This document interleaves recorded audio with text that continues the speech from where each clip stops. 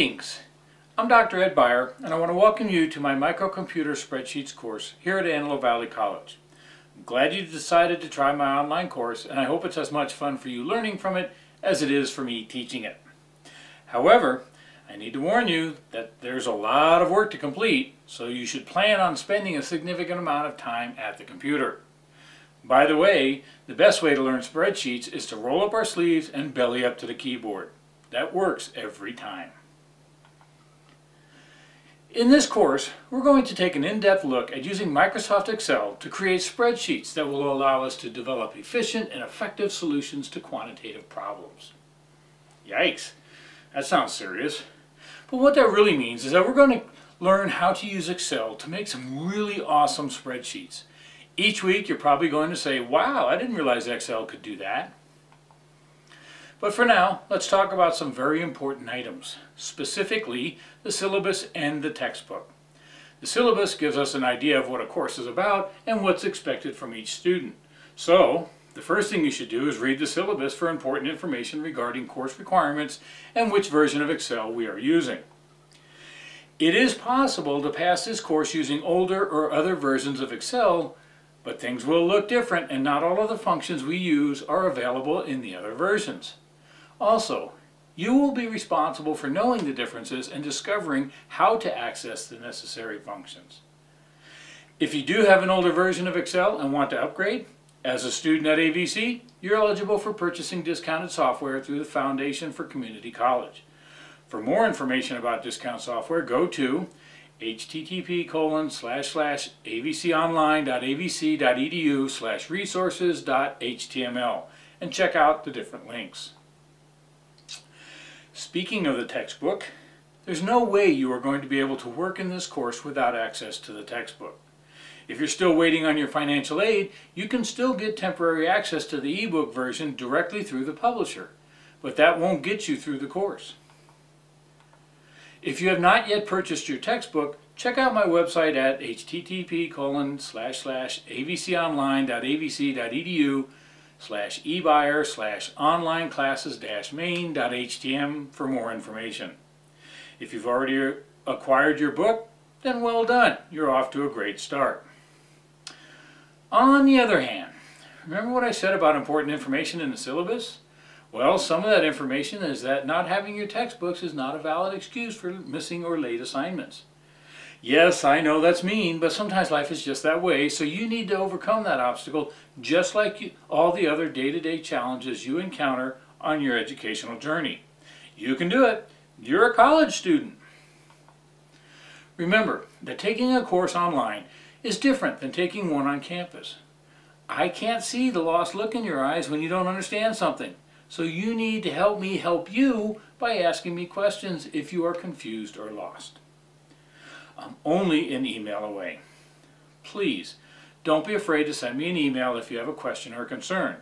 I may not always give you a direct answer, but I will at least point you in the right direction. By not giving you a direct answer, I am not being mean, that's just one way learning happens. When you do send me an email, be sure to include the following. Your name, the CRN of the course you are in, the specifics related to your question. That information allows me to better help you and respond quicker. One of the things that frustrates me as a teacher is when a student sends me an email and simply says, I don't understand step 6.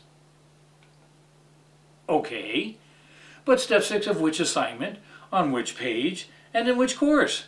I teach multiple computer classes and sometimes the topics overlap, so letting me know which class you're in and what page and step you're stuck on really helps me help you quicker. Also, believe it or not, there are times when I am not at my computer checking my email. So, if you send me an email and do not get an immediate response, relax, take a break, or work on other assignments. I will respond within 24 to 48 hours. This also means that if you wait until the last minute to ask a question, you might not get a response back before the assignment or project is due. That won't be an excuse for a late assignment, so don't wait until the last minute. Speaking of email, be sure to check your AVC email often as I only use AVC email for this class. I do not respond to non-AVC email addresses. If the email system is down, Try that old-fashioned technology called a telephone. I'm pretty sure that still works. And it even has this cool feature that allows you to leave a message. Since your participation in this class is expected to be similar to your participation in a campus class, be sure to access the course at least two or three times a week, just in case there are some important announcements, new assignments, or to participate in the required discussion forums. Now, a little about your assignments. Each week, there is a module in the Canvas classroom that contains the assigned projects or exams for that week and specifies when everything is due. Typically, assignments will be made available one week early and remain available for one week after the due date. After one week past the due date, the assignments will no longer be available. That's because I will accept late assignments up to one week late, but only for half credit. Also, I do not accept assignments for credit attached to an email unless I specifically request it. So sending in a late assignment as an attachment and pleading for me to accept it is not an option. However, if you're stuck on a step during the week and need help, it's okay to send me the spreadsheet as an attachment along with a description of the problem you're experiencing. That allows me to see what you're doing and where you may have gone wrong. Please do not send me a spreadsheet and just ask, am I doing this correct? That takes me away from helping someone who is stuck on a problem. Besides not accepting late assignments after one week, I also do not allow for or accept late exams or late discussions, so be sure to complete those on time. Remember, this is not a self-paced individual study course. You are required to maintain a weekly presence and that means completing and submitting your work weekly. The work is not hard, but there's a lot of it. And finally, taking an online course can be fun, exciting, and productive. But it can also be stressful if you wait until the last minute to do your work. As I mentioned, there's a lot of work to do in this class. It's not hard, there's just a lot of it.